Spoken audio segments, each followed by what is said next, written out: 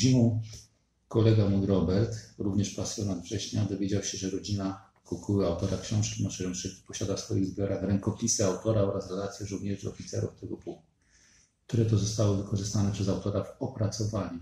Udaliśmy się do Łodzi wspólnie z kolegą w styczniu 2015 roku na spotkanie z córką autora, która udostępniła nam zbiory ojca.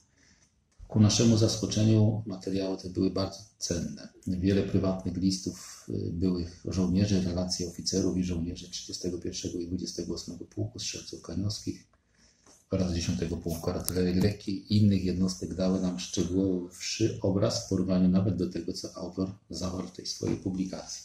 Analiza tych materiałów, a szczególnie lokalizacji pierwszego batalionu 31 Pułku w rejonie Minichowa nad rzeką Wartą y, zmusiła nas do weryfikacji w terenie pozycji zajmowanych przez polskich żołnierzy. Y, na miejsce tam pierwszy udał się w marcu 2015 roku Robert Kielek, y, który ku swojemu wielkiemu zaskoczeniu w czasie penetracji stanowisk drugiej kompanii w krzakach nad rzeczką Miniwką znalazł skorodowany i lekko uszkodzony hełm polskiego żołnierza. Się później okazało, właściciel pola w czasie prac polowych kilka lat temu chęt ten wyorał y, i pozostawił w zaroślach.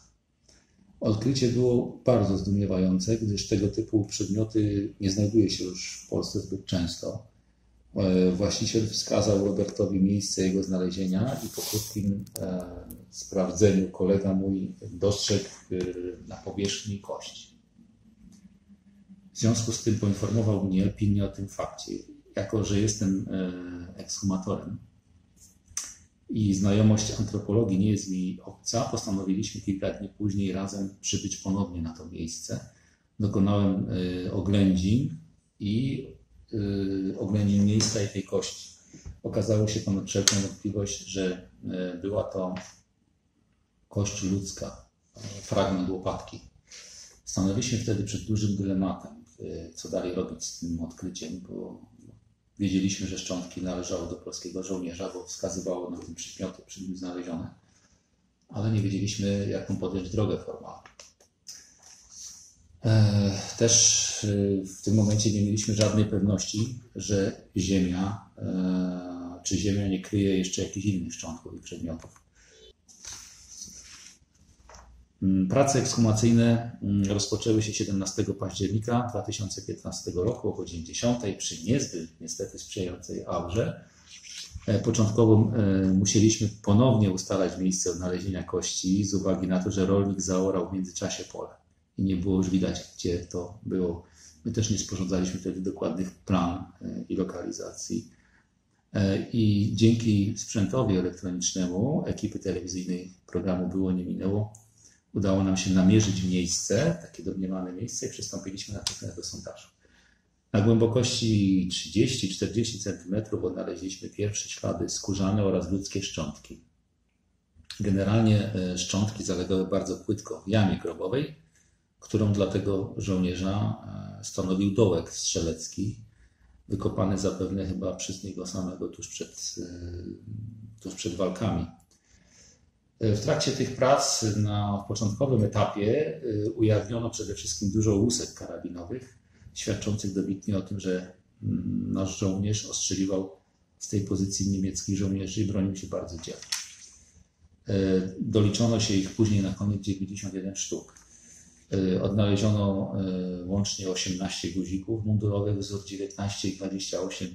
Odkryto również menażkę, wzór 22, 31 uszkodzoną zresztą e, przez odłamki artyleryjskie. To jest bardzo ważny już ślad. Dwie manierki, jedna wzór 31, druga wzór 28 i ładownice wzór 22 do e, karabinu Mauser. Resztki maski przeciwgazowej wzór 32, jeszcze szereg innych też takich mniej rozpoznanych elementów. Ale e, co się później okazało, najważniejszym znaleziskiem był znaczek identyfikacyjny, tak zwany nieśmiertelnik, wzór 31, z imieniem i nazwiskiem żołnierza. E, I wtedy po raz pierwszy dowiedzieliśmy się, że tym naszym poległym żołnierzem jest e, Teofil Jurek. Ciekawym też śladem był również odnaleziony przy szczątkach niemiecki pocisk karabinowy z płaszczem mosiężnym, wskazującym, iż Teofil został również trafiony strzałem karabinowym przez niemieckiego żołnierza. Z analizy dokumentów historycznych można też wskazać jego przydział wojenny. Na pewno jest to pierwszy pluton drugiej kompanii pierwszego batalionu 31 Pułku Strzelców Kaniowskich z Sieradza, gdyż jednostka ta przed wojną stacjonowała właśnie w sierackich koszarach. Y, no i tu taka ironia troszkę, bo to właśnie z tych koszar w nocy z 4 na 5 września 1939 roku Niemcy ostrzeliwali polskie pozycje obronne w dolinie rzeki Warty. Y, nie było też y, problemów z co później się mm, okazało z ustaleniem jakby przyczyny śmierci Teofila.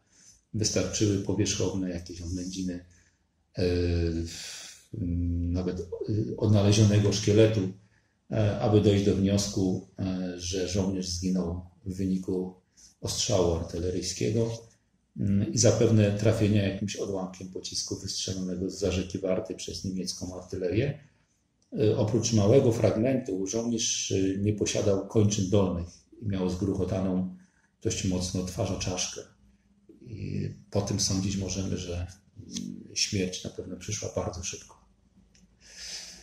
W rejonie miejsca śmierci Teofila walki trwały od południa 4 września już do godzin popołudniowych 5 września. Niemcy sforsowali rzekę Bartę po źle wysadzonym odcinku właśnie, gdzie zginął Teofil, Niemcy mieli największy problem z przeprawą. Bo jeżeli 41 pułk niemiecki, e, no można powiedzieć, że z pełnymi trudami, ale zajął Mnichów, tak, 20 pułk niemiecki, który wyszedł właśnie przez ten most, przez e, jakieś pontony, przeprawił się e, na drugą stronę, był przygwożdżony do tego przyczółka mostowego i nie posunął się już w ogóle. Dopiero po tym ostrzale artyleryjskim tych stanowisk, dopiero wtedy mogli bez problemu Mm, Niemcy posunąć się, o czym zresztą sami piszą, ale skutecznie przeszkadzali im w tym właśnie strzelcy z tego schronu po północnej stronie toru kolejowego i myślę, że koledzy i sam to Jurek. Mm, też trzeba powiedzieć o tym, że mm, ogień tych polskich karabinów maszynowych, który był ulokowany w schronach po tej północnej i południowej stronie torów kolejowych, y, uniemożliwił jakby Niemcom posuwanie się wzdłuż torów kolejowych. To było wykluczone.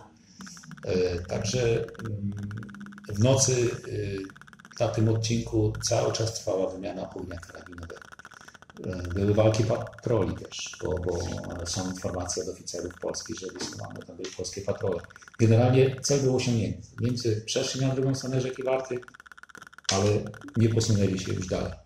Aż do tego Mm, e, właśnie do tej pamiętnej godziny 8 rano, kiedy rozpoczęli ostrzał artyleryjski. Oni właściwie, wiedząc, że tutaj się nie posuną, to skupili się na zdobywaniu tej wsi sąsiedniej, a mianowicie Mnichowa, o które toczyły się krwawe walki. E, na pozycji Teofila konkretnie atakował 20 Pułk Piechoty niemiecki z niemieckiej 10 Dywizji Piechoty z Regensburga. E, na 8 rano 5 września dowództwo niemieckie zaplanowało silny ostrzał artyleryjski polskich schronów i stanowisk strzeleckich, a y, następnie atak oddziałów pieszych. Oni zmienili wcześniej swoje przygotowane rozkazy, bo mowa była, e, nie było mowy najpierw o tym, że mają komasować ten swój ogień na te schrony, ale one i tak dawały się we znaki, że musieli zmienić swoje rozkazy i na 8 rano mieli ostrzelać Mm, te schrony polskie. Ogień oczywiście artylerii lekkiej, jak i ciężkiej był, był morderczy. Siał spustoszenie no i śmierć na pewno wśród polskich żołnierzy. Wtedy to według mojej oceny y, musiał zginąć nasz Teofil Jurek, rażony odłamkami. W otoczeniu jego miejsca śmierci odnaleziono kilka odłamków ciężkiej niemieckiej artylerii 105 oraz także lekkiej artylerii 75. E, Teofil oczywiście zginął, a walki trwały dalej. Niemcy przypuścili dalej szturm na polskie schrony i około godziny 11 opanowali. Schron najbliżej e, pozycji Teofila został trafiony pociskiem działka przeciwpancernego strzałem na wprost. E, po kilku strzałach Niemcy się wstrzelali w ten otwór strzelniczy i, i pocisk wpadł do środka. Jak podają Niemcy, wtedy to w schronie naliczono 14 polskich poległych żołnierzy, w tym dowódcę pierwszego plutonu e, tegoż pułku podporucznika Igdorczyka. E, plu- Plutonu oczywiście drugiej kompanii. E, Ostatecznie pozycje polskie zostały opanowane około godziny 13 5 września. Walki przesunęły się na wschód w rejon wsi Ruda i Męka. Szczątki Teofila po oględzinach e, z mojej strony na miejscu ekshumacji zostały przetransportowane do jednej z firm pogrzebowych na terenie Sieradza i tam oczekiwały na uroczysty pochówek, który odbył się 21 listopada 2015 roku na cmentarzu w Sieradzu-Męce przy udziale ministra obrony narodowej